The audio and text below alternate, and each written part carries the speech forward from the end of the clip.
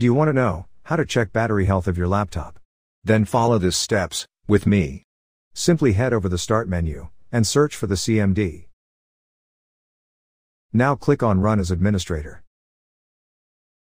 Once the command prompt is opened, copy and paste the following code, or type it manually. I also added this command in this video description. You can also copy it from there.